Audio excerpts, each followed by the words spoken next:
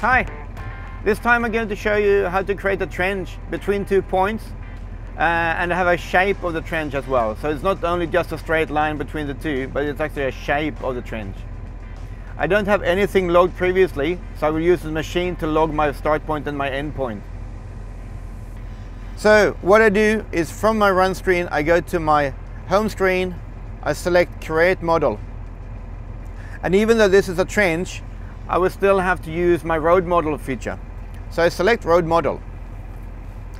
Go to the next page and it will uh, ask for points and I go to my next page and here I can log points for my trench. So now I just start to move my machine to log these two points.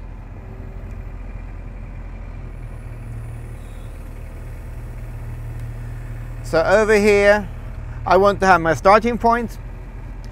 So I log that and I can edit the value because I want to be one meter below this.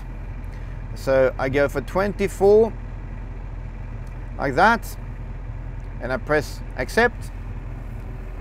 And then I move to my endpoint and I could have slew the machine I can put the endpoint anywhere and I could also even pick a point from a design here, but I'm just going to create a short one here. And so this will be my endpoint. I log that one. Since I want to have it one meter below my existing level, I will also change that one to 24 instead, like that. It will be seven meters long. I accept it I go to the next page. Once again, I have to select my start and end point to align this stretch. I can actually measure more points and there will be more points here. My slope will be uh, minus two, uh, minus, minus 0.2%. I accept that. Go to the next page. And now I come to the creation of the cross section of my, of my trench. I want to have it one meter wide to the left and I want to have it flat in the bottom and I want to have a total width of two meters. So that means I, I, apply one meter to the right as well. So this will be the bottom of the trench.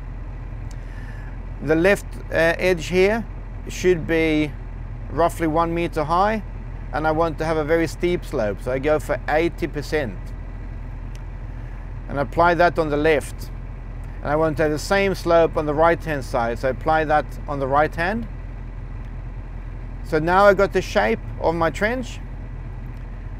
Last page, I can have a view, I can slew it around to see, yep, looks good to me. I give it my name, trench one for example, and I press my finish flag and here I got my trench model.